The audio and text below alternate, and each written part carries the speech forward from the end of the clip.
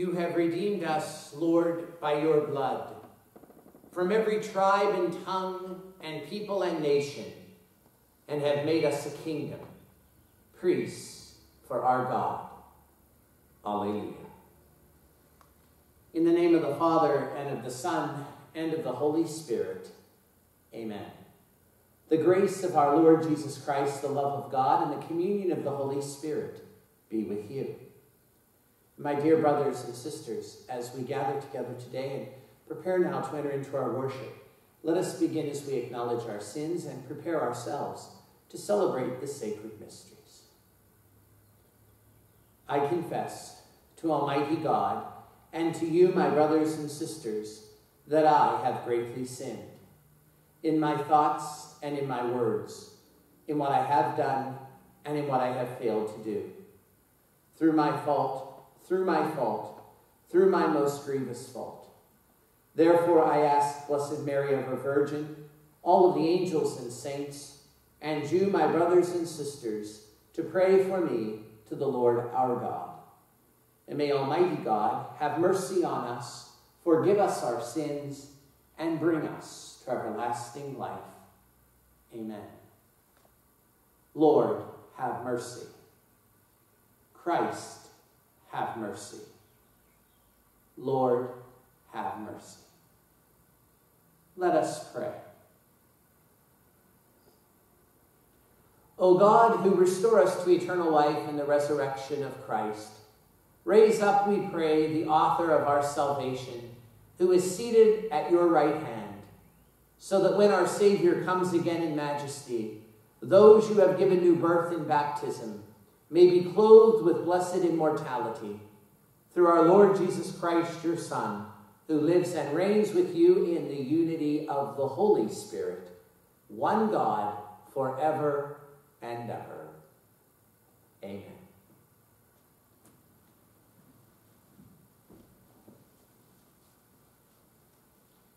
A reading from the Acts of the Apostles. One night while Paul was in Corinth, the Lord said to him in a vision, Do not be afraid. Go on speaking, and do not be silent, for I am with you. No one will attack and harm you, for I have many people in the city. He settled there for a year and a half and taught the word of God among them. But when Gallio was proconsul of Achaia, the Jews rose up together against Paul and brought him to the tribunal, saying, This man is inducing people to worship God contrary to the law. When Paul was about to reply, Gallio spoke to the Jews. If it were a matter of some crime or malicious fraud, I should with reason hear the complaint of you Jews. But since it is a question of arguments over doctrines and titles and your own law, see to it yourselves. I do not wish to be a judge of such matters. And he drove them away from the tribunal. They all seized Sosthenes, the synagogue official, and beat him in full view of the tribunal. But none of this was of concern to Gallio. Paul remained for quite some time, and after saying farewell to the brothers, he sailed for Syria together with Priscilla and Aquila. At Cenchreae, he had shaved his head because he had taken a vow. The word of the Lord. Thanks be to God. God is king of all the earth. All you peoples, clap your hands. Shout to God with cries of gladness. For the Lord, the Most High, the Awesome, is the great King over all the earth. God is King of all the earth. We bring people, He brings people under us, nations under our feet. He chooses for us our inheritance, the glory of Jacob, whom he loves. God is king of all the earth. God mounts his throne amid shouts of joy, the Lord amid trumpet blasts. Sing praise to God, sing praise. Sing praise to our King, sing praise. God is king of all the earth. Alleluia,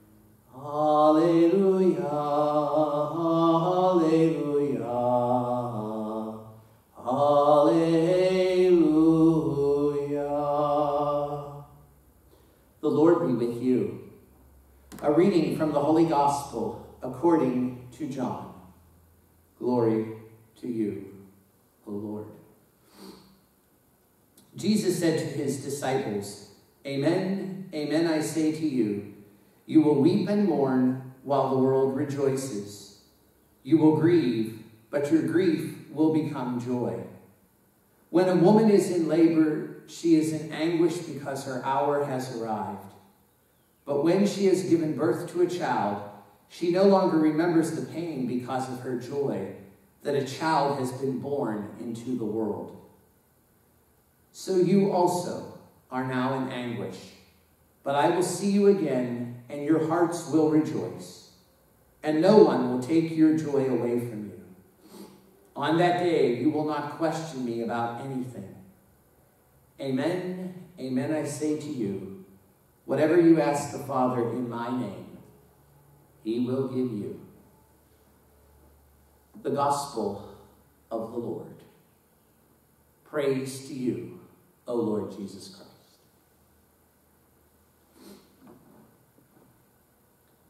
My dear brothers and sisters, as we continue during this time between Ascension and Pentecost, uh, we are given today in our first reading from the Acts of the Apostles um, the story of Paul and given some detail of his year and a half ventures in Corinth, the great uh, Greek city where he had tremendous success.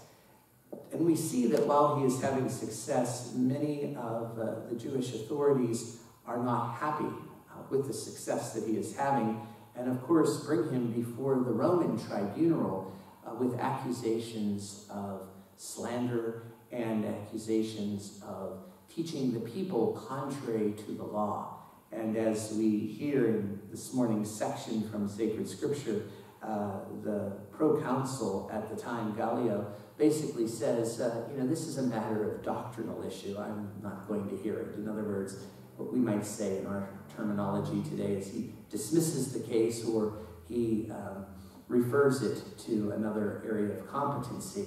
And of course, what's interesting and what sometimes um, we have to understand is that we see that in this particular passage, uh, that the head of the synagogue is beaten in full view of Gallio. And we might say to ourselves, well, why is he beaten? Why isn't Paul just taken by the Jewish authorities? And why isn't he simply tried by them and maybe even put to death or stoned? Well, the reason is that Paul is a Roman citizen. And a Roman citizen has the right by Roman law only to be judged on matters that could relate to capital punishment by Roman authorities only.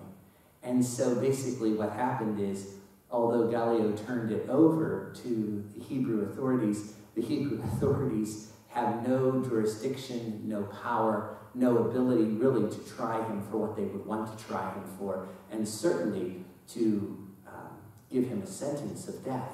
And so they, they um, exhibit their frustration by beating the official of the synagogue. It's not funny, but it's ironic. And there's a little twist if you understand the whole thing going on here. And Gallio is sort of smiling because he would have known that Paul was a Roman citizen, so he basically um, exonerates him, uh, but turns it over to them, of which they are powerless to act, and their frustration manifests itself.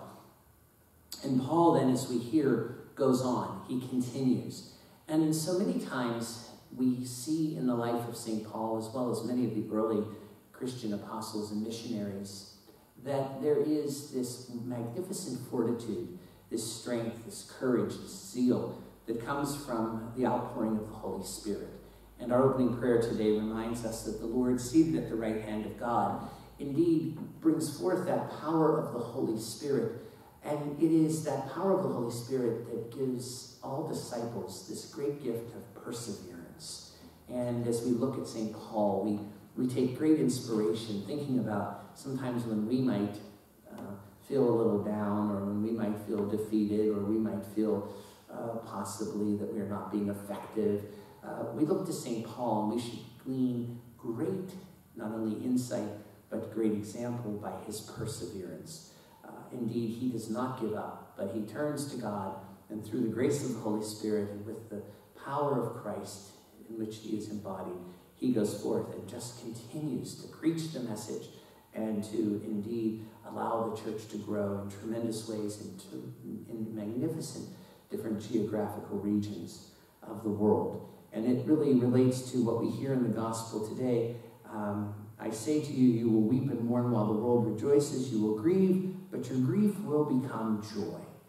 And of course, our Lord is reminding us of this and giving us the example of a woman who's in labor you know, as the pain increases, uh, she no longer remembers that pain once she gives birth to the child because that child has brought joy into the world and joy into her heart. And in that same way, Jesus reminds us that even in the times of trial and tribulation, the joy that he offers and the joy that he brings by our fidelity is incomparable to any pain or suffering we might, for a transitory time, suffer or experience.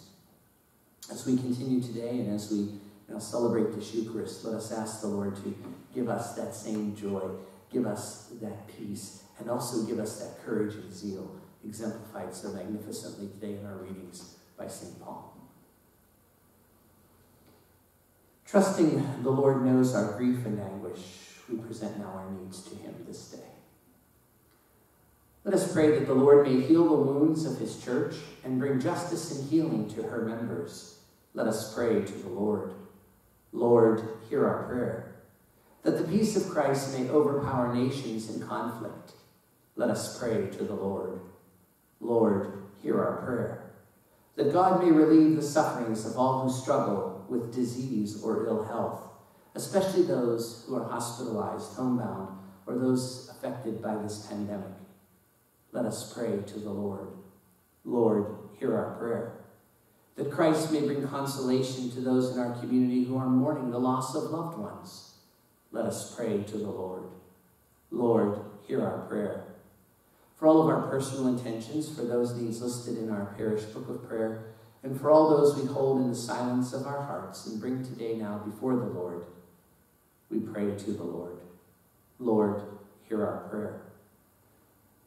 For Leo and Loretta Linsinger, for whom we offer Mass today, and also for Timothy Ball, who will be buried tomorrow, and for all the faithful departed, that they who have died may find eternal rest and peace in God's heavenly kingdom. Let us pray to the Lord. Lord, hear our prayer. God of wonder and might, we bring these prayers before you and ask you to hear them and answer them according to your will, through Christ our Lord. Amen.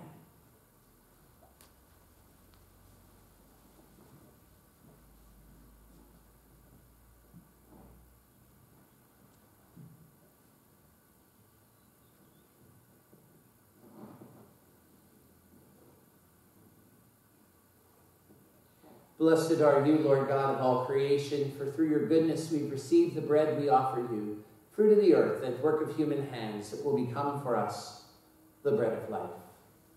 Blessed be God forever.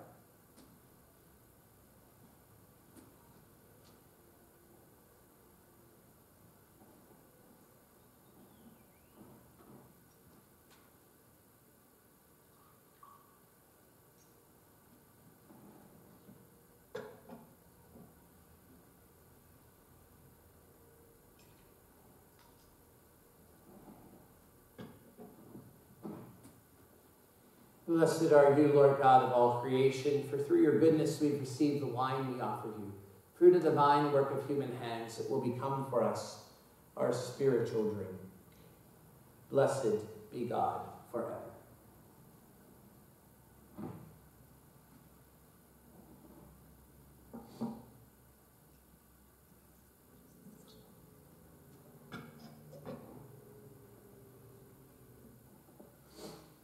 Pray, my dear brothers and sisters, that my sacrifice and yours may be acceptable to God, the Almighty Father.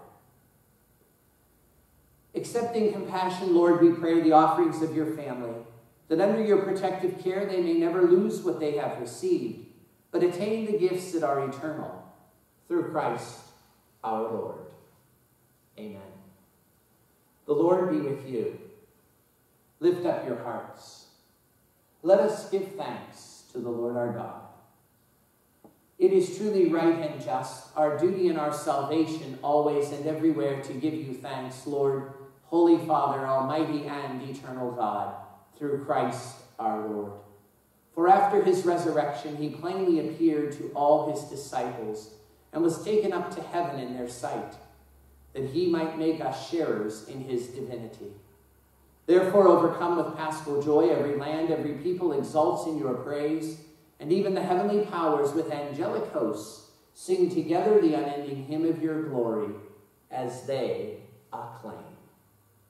Holy, holy, holy Lord, God of hosts, heaven and earth are full of your glory.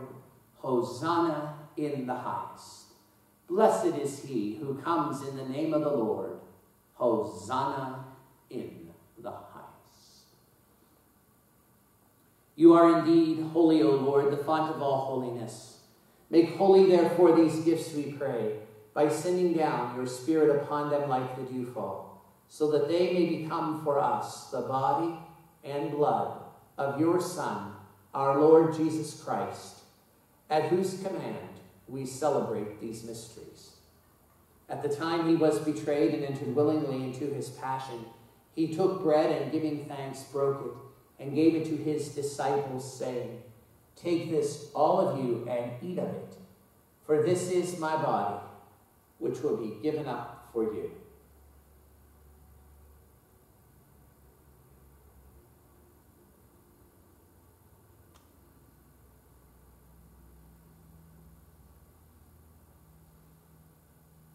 In a similar way, when supper was ended, he took the chalice, and once more giving thanks, he gave it to his disciples, saying, Take this, all of you, and drink from it, for this is the chalice of my blood, the blood of the new and eternal covenant, which will be poured out for you and for many for the forgiveness of sins. Do this in memory of me.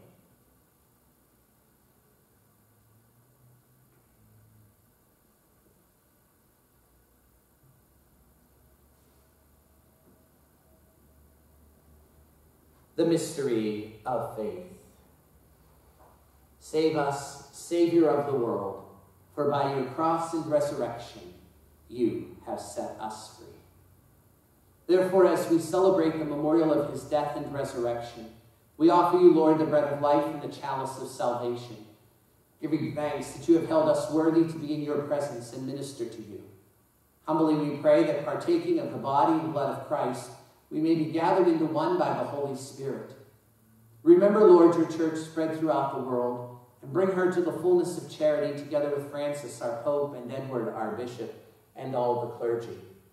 Remember also our brothers and sisters who have fallen asleep in the hope of the resurrection, and all who have died in your mercy.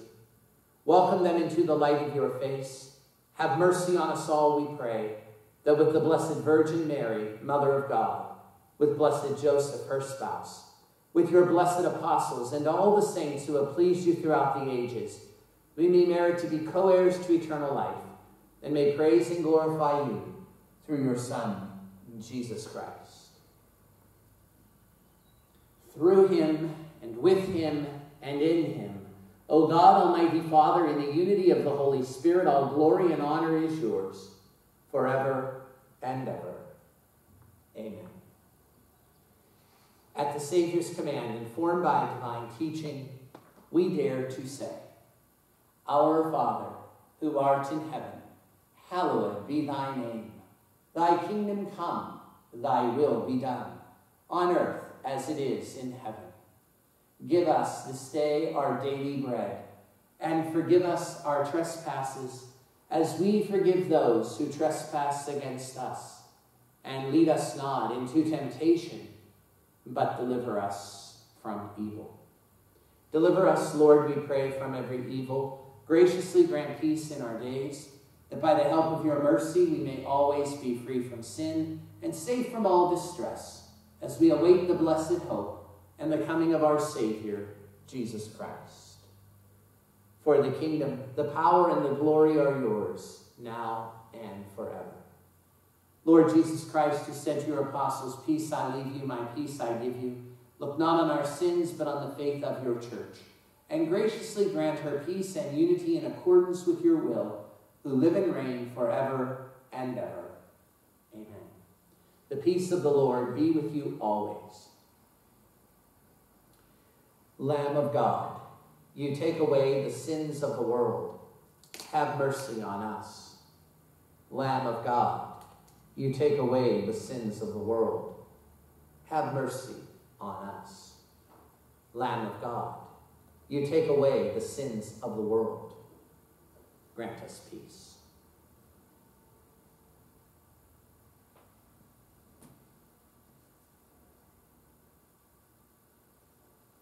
Behold the Lamb of God. Behold him who takes away the sins of the world. Blessed are those called to the supper of the Lamb.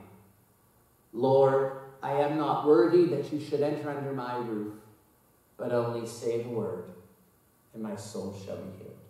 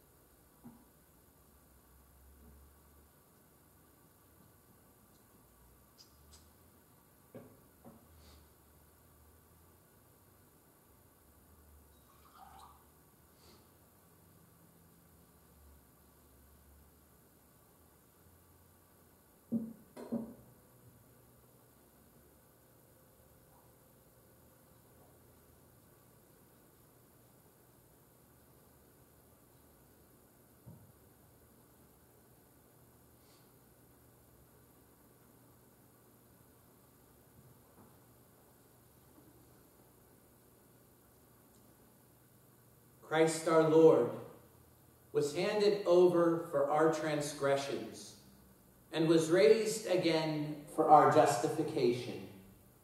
Alleluia. Let us pray.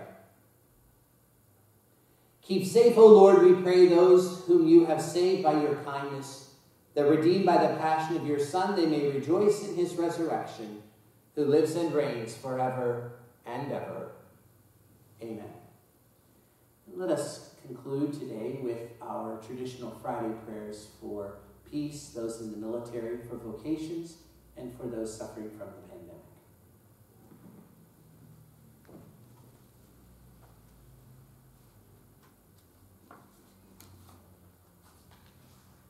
We begin with our prayer for peace. Praise to you, all loving God, for you speak tender words of peace to all your children. Guide our efforts to bring forth peace, the fruit of justice and love. Remove from us the greed and hate that threaten peace within our country and throughout the world. Inspire the leaders of governments to promote policies and actions that ensure peace and well-being for the human family. Strengthen those who work for peace in every place and keep safe under your watchful care all who serve and protect us. Bring lasting peace into our world by sending your eternal spirit into the hearts that you have made. Preserve all people from harm now and up to that day when the fullness of your peace will be revealed.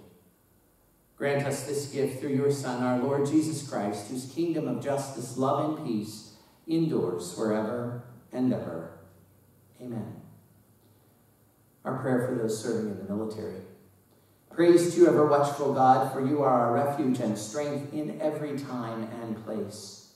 Send your blessing upon those who are serving our country in the armed forces. By your powerful spirit, shield them from all harm, uphold them in good times and bad, especially when danger threatens. Let your peace be the sentry that stands guard over their lives, so that they may return home safely. Look with compassion on all victims of war ease their sufferings, and heal their wounds. Put an end to wars over all the earth, and hasten the day when the human family will rejoice in lasting peace. Grant this through our Lord Jesus Christ, your Son, who lives and reigns as the Prince of Peace, both now and forever. Amen. In our prayer for religious vocations. Heavenly Father, your loving providence accompanies us on our life's journey. Thank you for the many gifts you have given us. We ask that you continue to call sons and daughters from our families and parishes to serve as priests, deacons, and consecrated men and women in the Diocese of Greensburg. Send your Spirit upon us so that many will respond with great love to your call to service and leadership in your church.